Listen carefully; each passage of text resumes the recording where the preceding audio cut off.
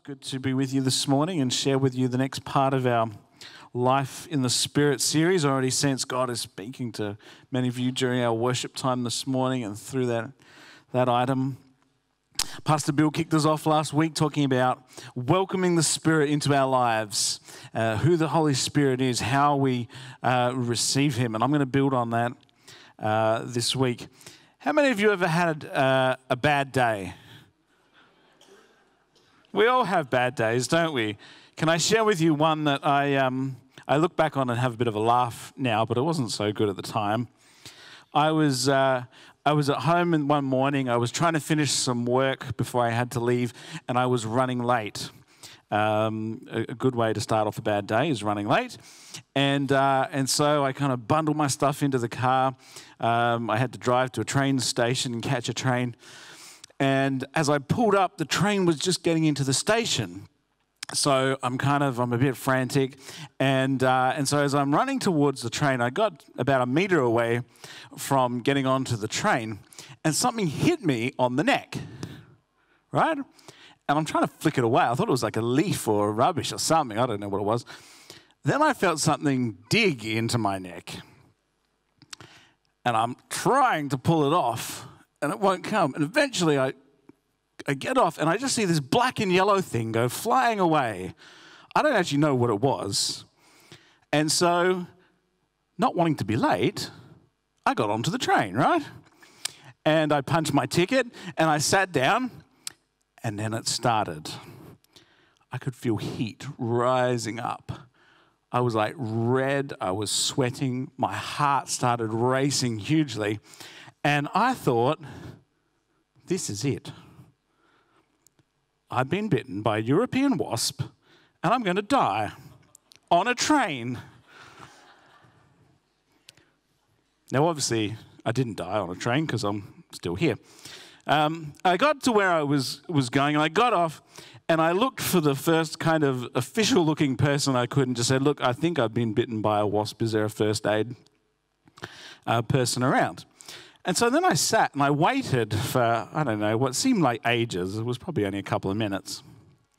And then this uh, elderly gentleman came over to me. He's holding his little first aid kit. And he plonks it down next to me, doesn't say a word, doesn't say hello or anything, just opens up the kit, and he gets out a first aid booklet. It doesn't inspire a huge amount of confidence, right? So He's, he starts flicking through the booklet. Still has not said anything to me yet. He goes, Are you allergic to anything? I was like, No. Hmm. Goes back to flicking through the booklet. He gets to the end of the booklet, puts it back in the case, and says, Well, we can't do anything for you just in case you are allergic. Um, there is a hospital about 10 minutes down the road if you're really worried, if you want to wander down there. How many of you know I have stopped worrying about this pain in the neck, right? And I am now consumed with rage for the pain in the neck that is standing in front of me, right? I was so overwhelmed by this chain of events. Do you know what I did? I got on the train and went back home again. We're talking this morning about walking uh, with the Spirit. Now, I think it's easy to walk with the Spirit when things are going well. When life is going well uh, and, and, things are happening, it's easy to walk with the Spirit. And if you have a, an off bad day, a little bit like I did, well, you can bounce back. But what about when bad days turn into bad weeks?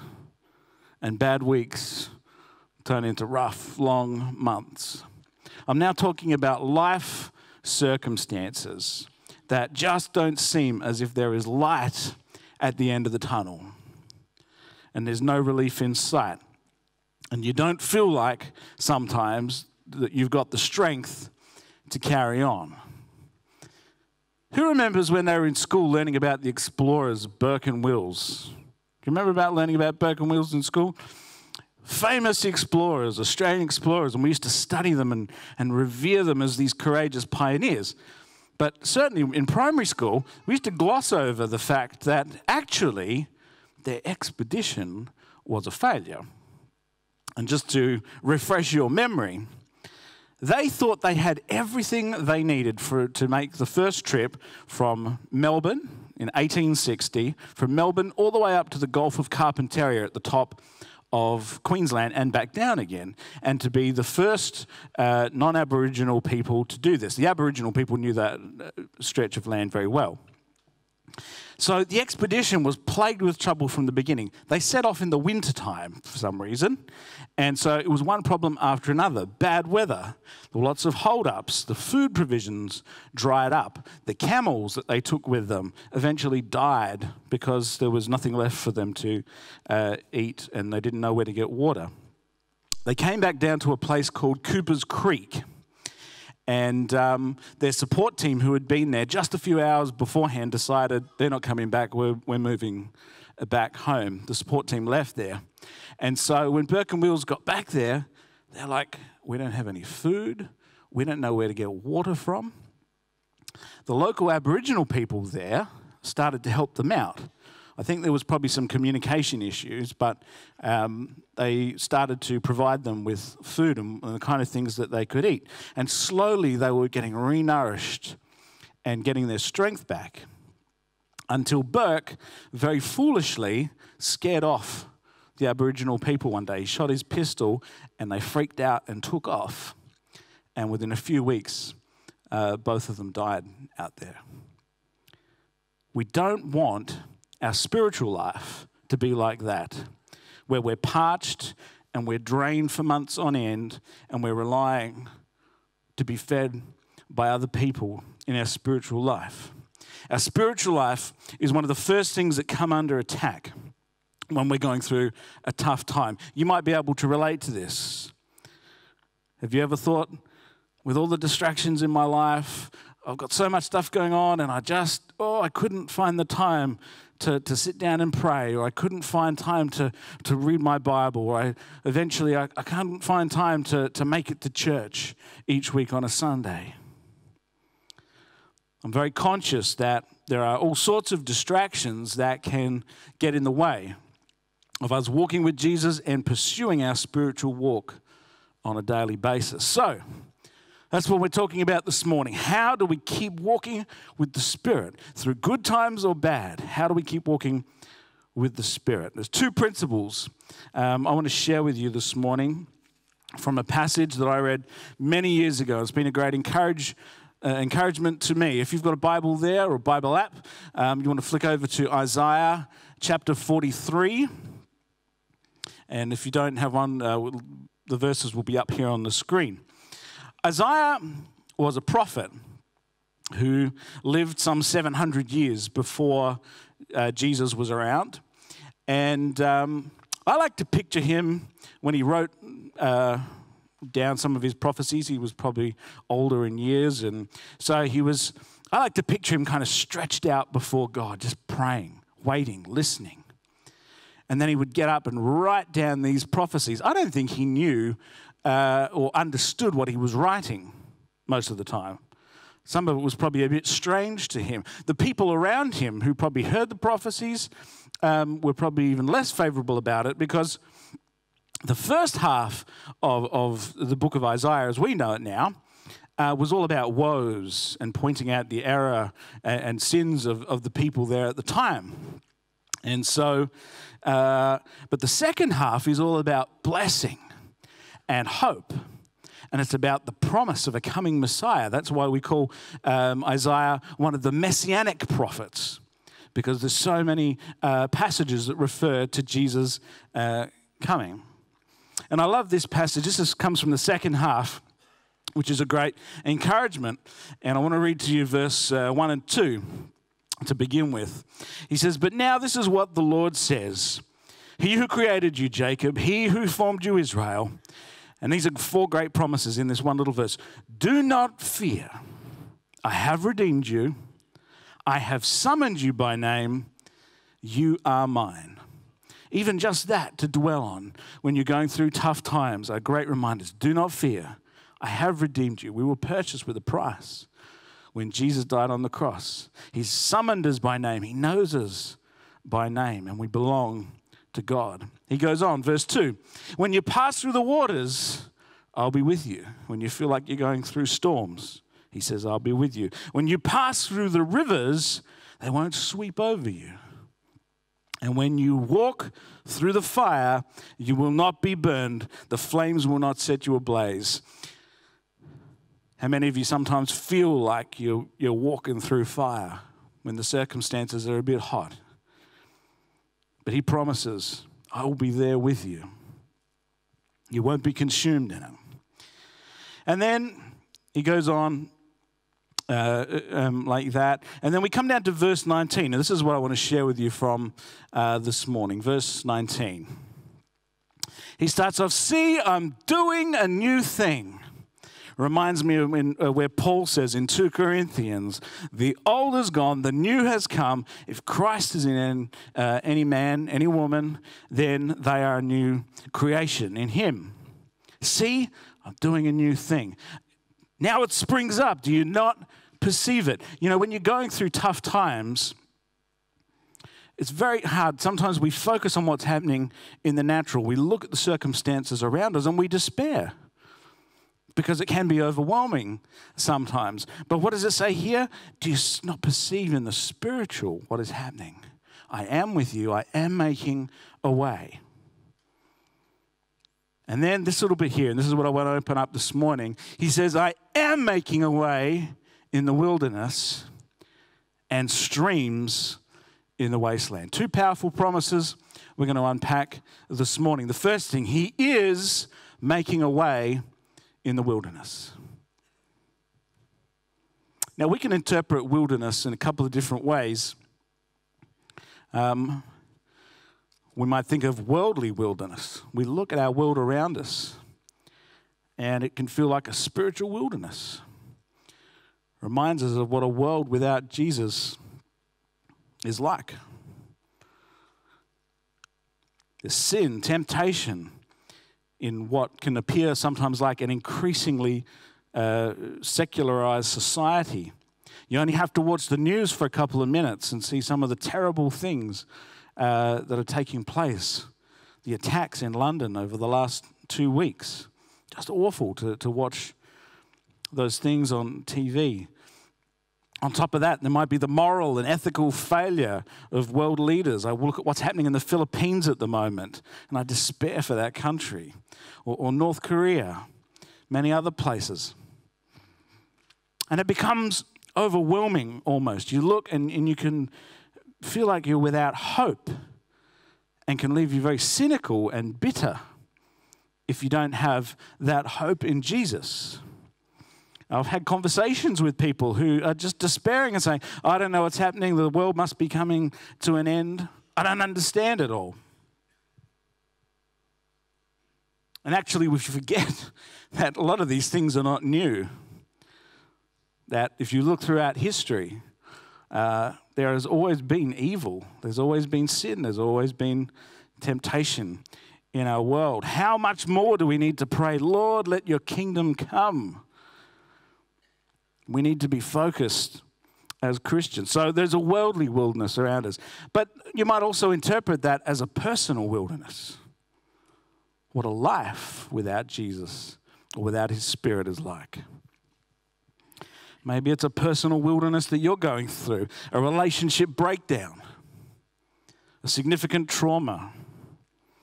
Maybe it's a financial struggle, just life circumstances that stop us in our tracks and make us feel like there's no way out.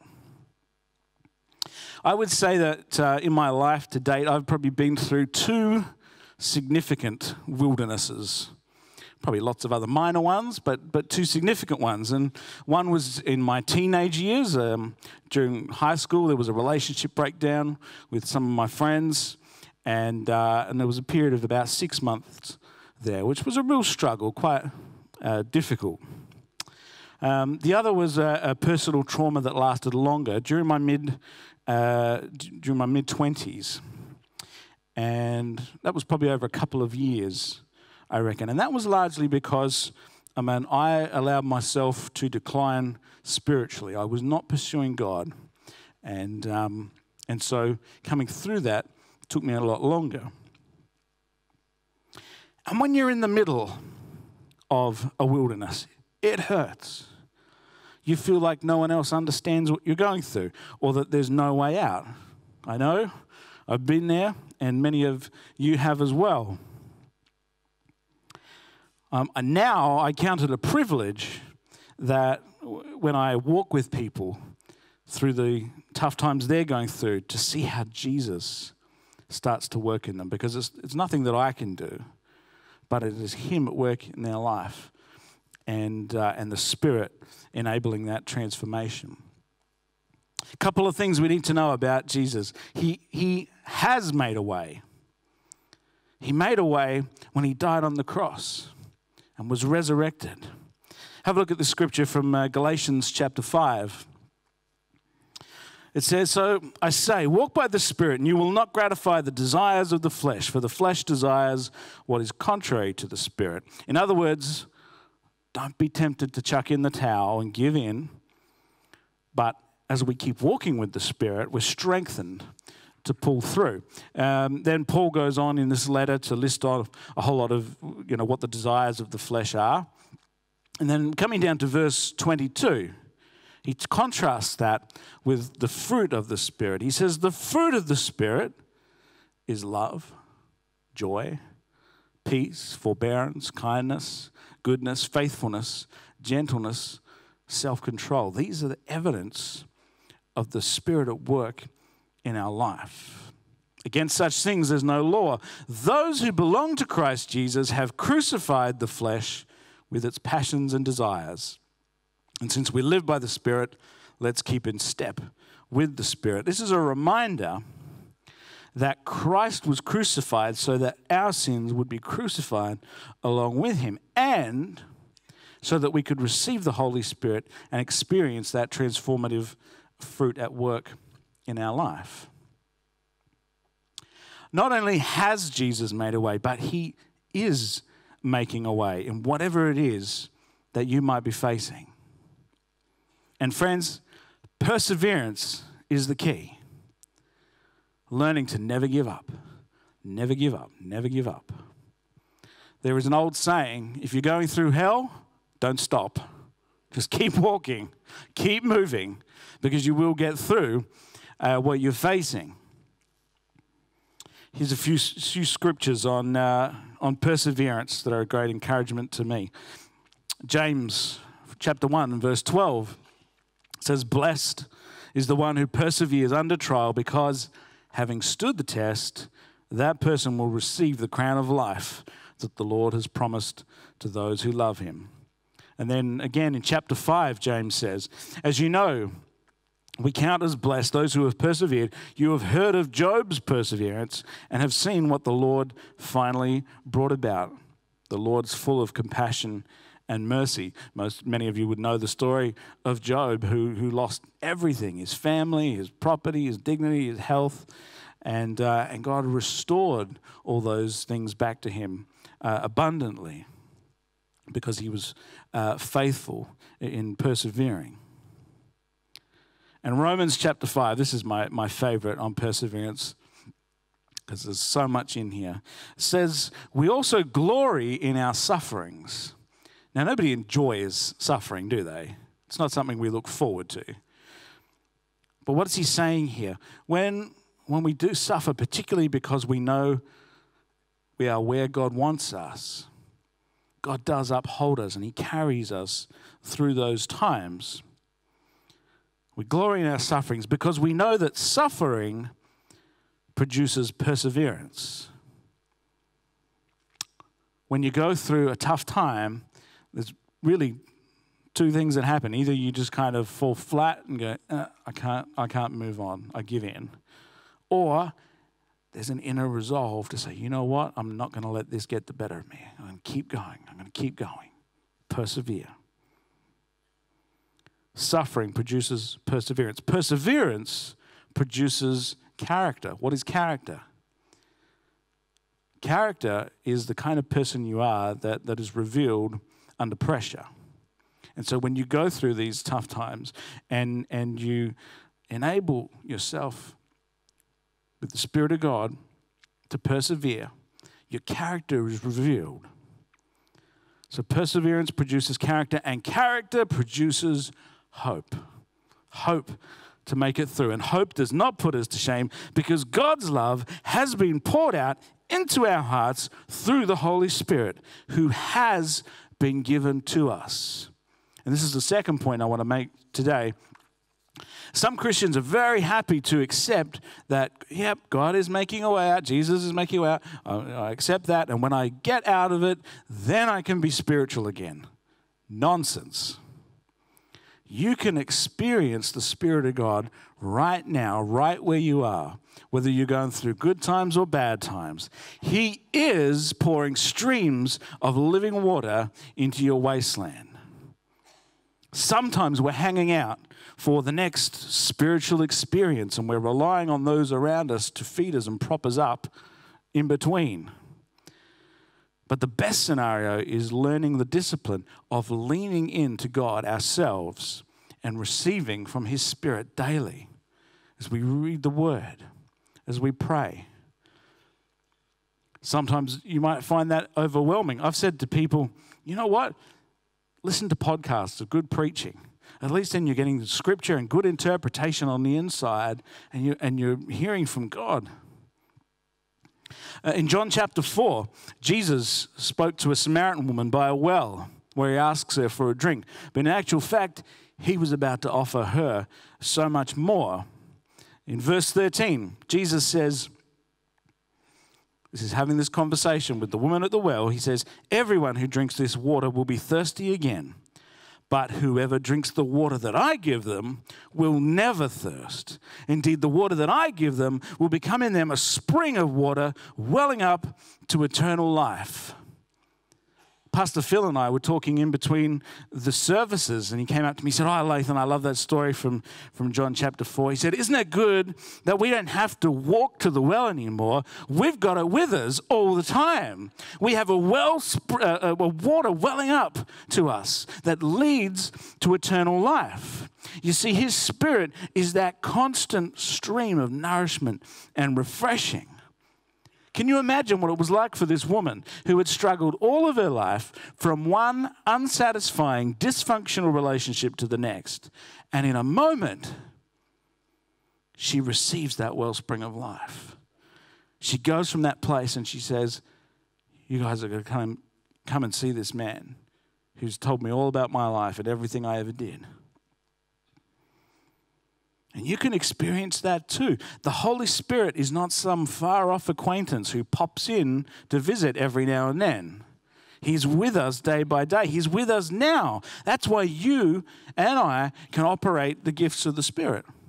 Did you know that? You can actually operate gifts of the Spirit. If you've been baptized in the Spirit, if you've had that, that gift of speaking in tongues, but sometimes people think, oh, no, well, maybe that's just for pastors and leaders being all deep and, and spiritual. No, those things are there for our empowering, our strengthening. Maybe it's about making a decision about your future. Expect God's guidance and the faith to believe that He has that under control. Parents, I felt this one really strong. Parents, um, you can expect God to give you wisdom and knowledge to speak to your kids, particularly if you're despairing over um, circumstances with your children. Maybe it's in the workplace. Maybe you need a gift of discernment about how to handle an issue in the workplace. Or maybe you've got loved ones who are sick. Pray, expect healing. Step out in faith. You can operate those gifts that are listed in 1 Corinthians 12. It's crucial that we make space for the Spirit in our life and that we have that reserve to draw on. That's why we need that well, that spring of water in us that's the Holy Spirit. We have to thirst after God. Have a look at this psalm. I love this beautiful psalm. Psalm 42 it says, As the deer pants for water, for streams of water, so my soul pants for you, my God. My soul thirsts for God, for the living God. Where can I go and meet with God? Let me ask you this What exactly do you think a soul that thirsts for God looks like? Well, maybe it's something like this a soul that puts itself aside and desires only what God wants, a soul that pursues God no matter what the cost, no matter the obstacle. A soul that doesn't look to be spiritually sustained by the world around it, but only by God's Holy Spirit. And a soul that drinks from God's Word and His Spirit daily.